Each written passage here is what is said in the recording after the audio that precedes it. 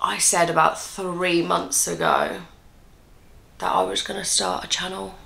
Three months. That's actually really rude and it's just not acceptable. It's really not. There's no excuse for it. You know, I could sit here and say I've been busy, but so's Beyonce and she is shaking a leg on tour right now. Welcome to my YouTube channel. My name is Olivia Hawkins and you may recognise me off the latest season of Love Island UK.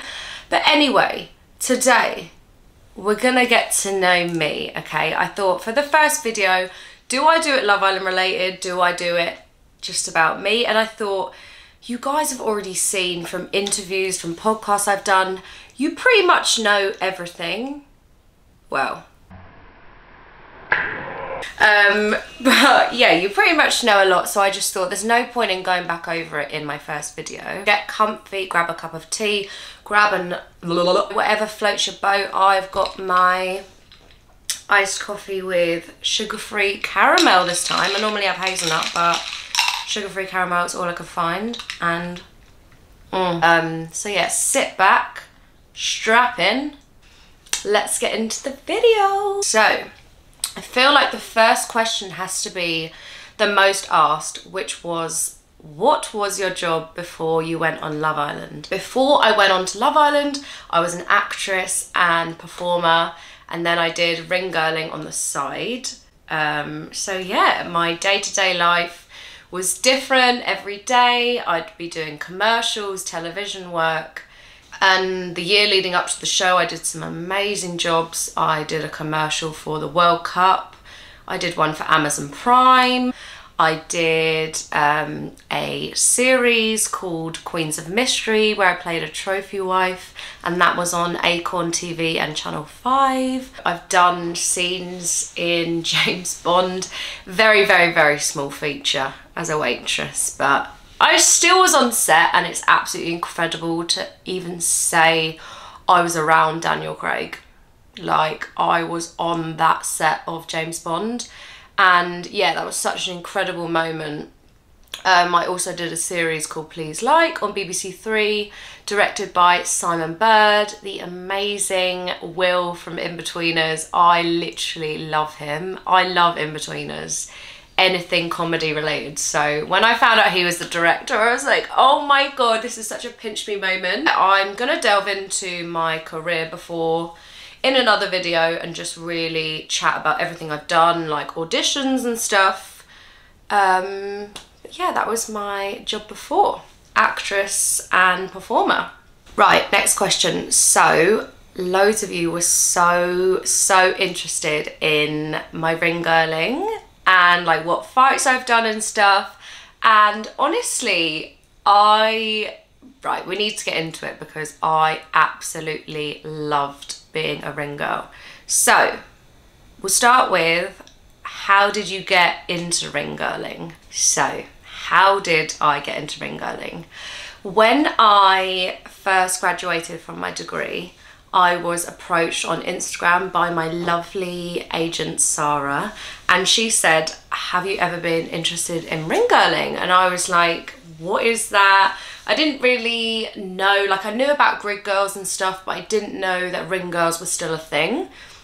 So I had a little look on her page, saw like the Matchroom, um, all the big fights at like O2 Arena, Manchester, and I was like, whoa, this is lit. Like, I need to get involved in this.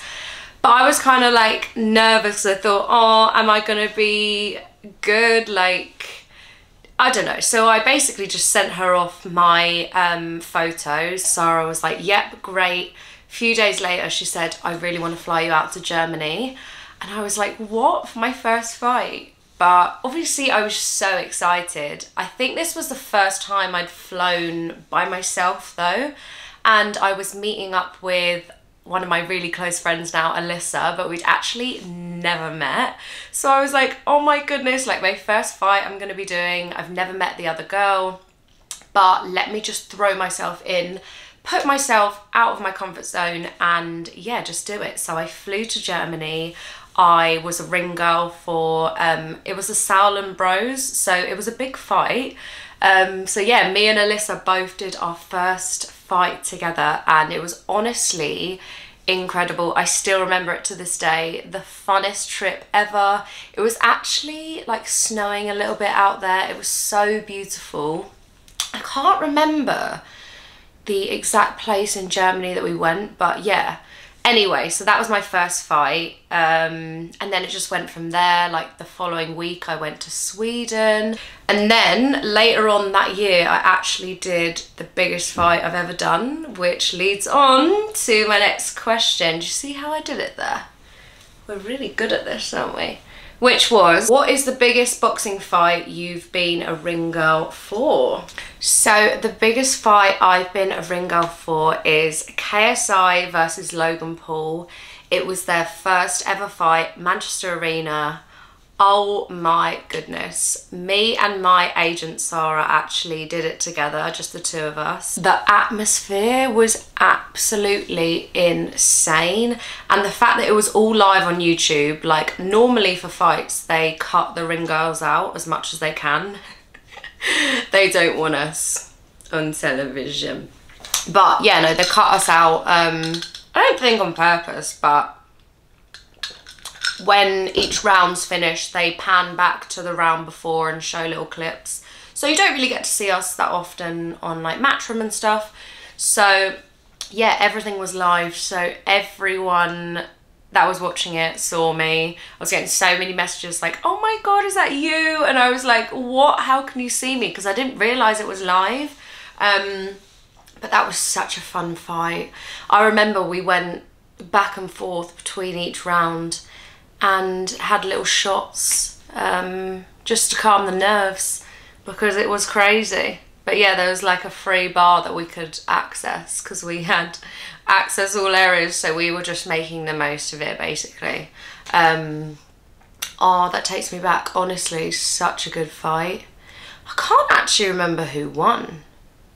I want to say KSI won but it's so long ago now. I think it was like 2018. But yeah, to go from starting ring girling the beginning of that year and then to have the opportunity to do that fight, like that was absolutely insane. And yeah, I was so grateful to Sarah for even picking me and putting me forward because that was incredible. Also, these weren't questions, but for anyone that doesn't already know, I'm 28 and my star sign is a Gemini. so yeah, I'm 28. I'm not 28. I literally just lied. I'm not 28. I'm 27. Why would I add age onto myself? It's because everyone says I'm 28. Okay. Rewind. Rewind. I am 27. I live in Brighton. And what else do you need to know? They're like the key points, I'd say. And I am single. So, if my future husband is watching this, what are you waiting for? no, I'm joking. Do you have any siblings? Yes, I do. I'm one of four. I am second youngest, so I've got a younger brother. He is 17. I've got an older sister. She is 30. And then my older brother, he is... Don't kill me, Lloyd. I think he's 33. Is he 33? Middle child syndrome. They're very supportive of me and vice versa. But yeah, they were so supportive of me while I was on the show. I didn't actually tell my older two siblings that I was going on the show. I only told my younger brother because he's always around my mum and dad so I couldn't really avoid it. But yeah, I didn't tell my two older siblings. Sorry if you're watching this, love you. Um, but yeah, I left them a really long video before I left, just explaining everything. I just wanted it to be a nice surprise, you know. But saying that, I think my sister knew all along because I really wasn't throwing subtle hints. They were very, very obvious hints. Um, I remember I messaged her and I was like, can you order me some bikinis from this website because for some reason my account was like not working properly. She was like, "Why do you need loads of swimwear for January? Like, where are you going?" And I was like, "Oh, I think I'm going to Dubai. Like, I haven't booked it yet." She was like, "Are you going on Love Island?" And I was like, "No, absolutely not. Like, you would know if I was going on Love Island." She was like, "Okay, whatever." So then on Christmas Day, I remember I was getting a bit confident with it. And I was like, oh, well, maybe you guys will see me on screen a lot more in January. But they're used to seeing me and stuff anyway. And then I remember my sister and her husband, Ben, looked at each other and they were like, and I was like, oh no, I think they knew. She says now that she just had a feeling. Um, but yeah, it was a massive surprise for them. Anyway, you guys need to get used to me rambling on basically because I can't answer a question in less than two minutes. So this is why I'm saying get a cup of tea because you're going to be here for a while. Favorite clothing brand? So, it honestly changes and I have so many. Right, in the villa, I was wearing a lot of like rat and boa. I'm gonna go with like the you know, the more expensive but still affordable occasion brands. Um, so Rat and Boa, House of CB, O Polly, they're like my three, and Mistress Rocks as well. Those were definitely the four I dipped between a lot in the villa. And then also I love PLT, I love Boohoo, Boohoo Man. Oh, I love Boohoo Man tracksuits. I just love men's tracksuits in general, but Boohoo Man ones are just so cool. Um, don't know if I'm cool enough to wear them, but yeah, I love them. I also love Prada, but the budget, the daily budget, it just doesn't really sit. If I'm gonna spend my money, it needs to be something I really want. Like I really have to love the bag. I have to think about it for a long time. Um, although I made a bit of a splurge the other day on some perfume. And the only reason I got it is because I've actually wanted it for years. My friend Nahida's always had it and when she told me the price, I was like, for perfume. And um, yeah, me and my friend were in Selfridges the other day and her friend kindly said, would you like to buy anything today? Like I've got my discount on me because she works there. Like is there anything you want to get? Let me know. And I was like oh I really want the Creed Aventus perfume. Like I've wanted it for ages. She was like just do it. And I was like oh it's so expensive. I say it should last me. The rate I spray myself it's not gonna last me. Longer than six months.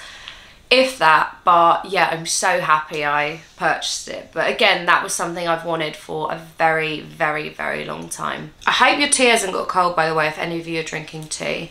I know i ramble on but wouldn't you rather get in-depth answers than quick ones i always prefer that i hate it when people do q and a's and you're like so what was your job and they're like a nail tech and then they just move on to the next like no, I want to know, like, what was your favourite shape to do? Was it almond or was it ballerina or was it coffin? Like, I want to know the ins and outs of your job.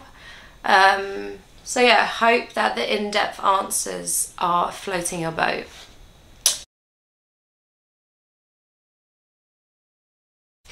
So then for my A levels, I was actually debating whether to go off and study musical theatre or to stay and do my A levels.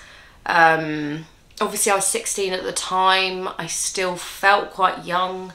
I always knew in my heart that musical theatre was what I wanted to do. You know, I was in the West End when I was 11. I was in Billy Elliot um, at the Palace Theatre for a year, a year, year and a half. Um, so I always knew that you know, musical theatre, performing, it was in my blood. It's, it's always what I've wanted to do. But 16, I just felt quite young.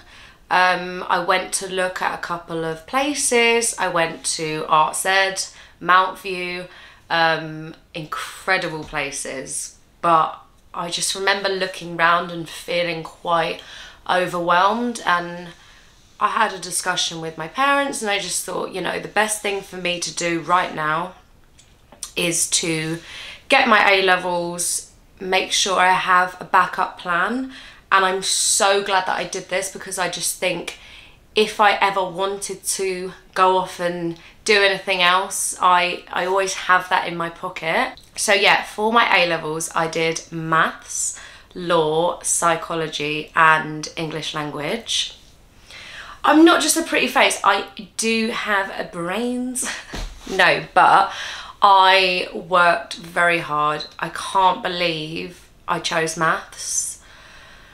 If you're watching this and you are studying your A levels right now and you're doing maths, honestly, I feel for you and well done for even picking it because it is hard.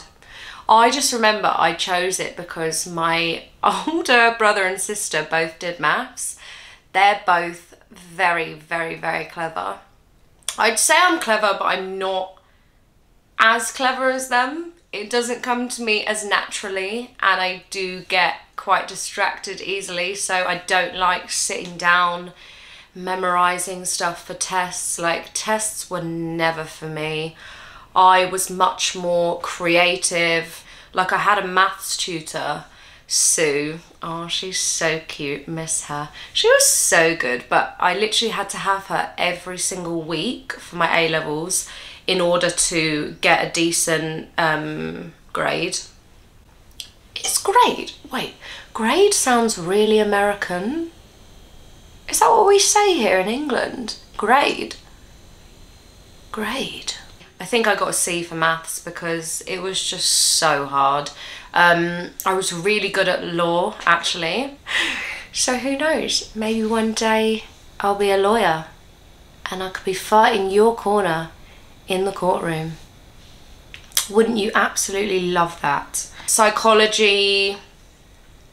I feel like I'd enjoy psychology a bit more now just because I find that kind of subject really interesting. No, I don't. Literally just lied. Does anyone else do that? Where they tell white lies? this is me. So another frequently asked question was, did you go to uni? If so, what did you study? Yes, I did go to university. I went to, I call it a dance college. I still did a degree. Um, it was called Bird College, where I studied dance and musical theatre. Honestly, the best three years of my life. So much fun. But yeah, I was on the degree course, so I did the practical as well as the written. Um, and I had to do a dissertation in my third year. 8,000 words. Oh, I still remember it. Honestly, horrendous, but amazing got through it. What an achievement. think I got a 2-1. I didn't get a first, but I got 2-1. Still very good. Um, yeah, and I just had the best time. When I was auditioning, I actually was very, very, very lucky to get on the degree course. I know now things are very different. Um, they take on quite a lot more people. They have the facilities to have a couple of hundred on the degree but when I was on the degree course, I think there was only about 40 or 50 of us, um, including girls and boys. So yeah, to get on that degree course, I was very lucky and yeah. It's actually a funny story to tell you. In my third year, I auditioned for a very big West End show. Um, my agent from the college, she represented all of us before we got agents ourselves, you know, when we graduated. And she put me forward and I got to the finals. And I was like, wow, I could potentially actually get this role. Unfortunately, I didn't get it, but it was an amazing experience. And I always just think back now, oh, if I'd have got that role, would I have just stayed in theatre and in musicals? But then I never would have gone on and done the things I did in television. So I feel like everything happens for a reason. But yeah, I'd love to delve into that in another video and tell you guys what musical it was. So see if you can guess in the comments what musical you think it was. I was actually up for a role to play one of the friends. Not that that gives anything away, but um, might be a musical to do with the A to the B to the B to the A. what is the next one? Oh, I quite like this one. I know we're not delving into Love Island, but I did have to include this one because I feel like it was a very, very good question. Do you prefer your life before or after Love Island? I saw this question and I thought, wow, hmm, that's deep.